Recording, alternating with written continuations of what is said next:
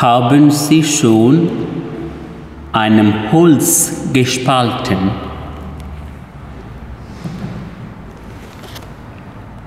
Eine körperliche anstrengende, aber wundervolle Arbeit. Vor allem beim Gedanken an das schöne Feuer, das man mit dem gespalteten Holz machen kann. Diese behagliche Wärme eines Kamins für die Familie oder Gäste. Oder in früheren Zeiten ein Feuer, um Essen darauf zu kochen. Dafür spaltet man Holz, um das Leben behaglicher und schöner zu machen. Liebe Mitchristen, was mag Abraham gedacht haben, als er Holz gespaltet hat, um auf diesem Feuer seinen Sohn zu opfern.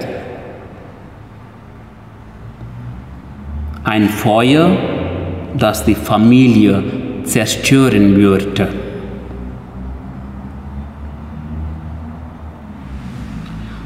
Man könnte da meinen, Abraham, auch unser Urvater im Glauben, sei ein religiöser Fanatiker, der Herz und Verstand ausschaltet, wenn er Gottes Stimme zu hören meint. Und was mag Abraham empfunden haben, als er loszog? Was hat er Sarah, seiner Frau, zum Abschied gesagt? Hat er mit Sarah schon gesprochen, dass er das Kind opfern wird? Wie hat er sie überzeugt?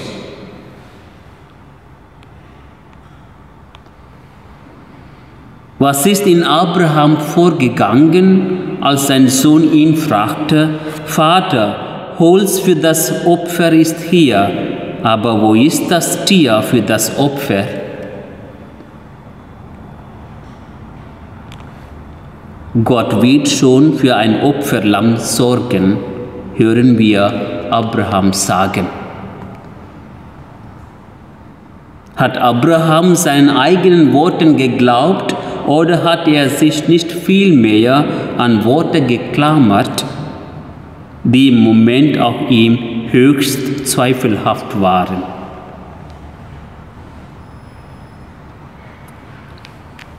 Liebe Schwestern und Brüder, es geht bei Abraham und Isaac gut aus. Gott wendet das Blatt in letzter Minute. Doch ehrlich gesagt, wenn die Geschichte Gottes mit den Menschen hier zu Ende erzählt wäre, dann bliebe sie fad und unser Gott wäre einer, bei dem man nie so genau wissen kann, wie er die Würfel gerade fallen lässt. Bei Abraham ist es gut ausgegangen. Doch nicht alle Geschichten nehmen ein gutes Ende. Ich denke an die neugeborenen Kindern, Kinder, die gleich nach der Taufe geboren gestorben sind. Ich denke an das Ehepaar, die gleich bald nach der kirchlichen Trauung geschieden wurde. Eine fromme Familie, die kein Happy End erlebt hat. Eltern, die ihre to Tochter, die sie lieb hatten, hergeben mussten.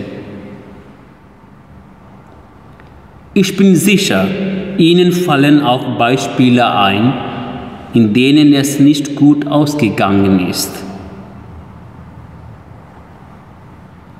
Ist unser Gott einer, bei dem die einen Glück haben und die anderen eben Pech? Darum ist es wichtig, dass die Geschichte Gottes mit den Menschen nicht schon mit dieser Geschichte von Abraham und Isaac endet. Darum ist es mir wichtig, dass viele Generationen später wieder ein Vater mit seinem Sohn auf einen Berg steigt, mit seinem einzigen Sohn, den er über alle Maßen liebt. Sie steigen nicht hinauf auf einen Berg im Lande Moria, sondern hinauf nach Golgatha. Auch auf diesem Sohn ruht eine große Verheißung. Durch ihn sollen die Völker, alle Völker der Welt gesegnet werden und den Weg zu Gott finden. Doch auf dem Weg nach Golgatha sieht es so aus, als trüge er keine große Verheißung, sondern sein Scheitern das Holz für seine Opferung. Und dieses Mal geht die Geschichte nicht gut aus. Kein Engel greift im letzten Moment ein, kein Ersatzopfer, das bereit steht. Doch Jesus legt am Kreuz seine Zukunft ganz in Gottes Hand, so wie Abraham. In deine Hände befehle ich meinen Geist.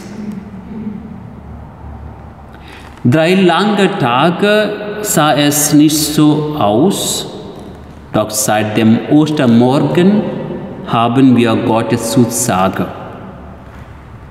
Selbst wenn Gott sich bis zum Schluss zu widersprechen scheint, auch dann hat sein Weg mit uns Zukunft.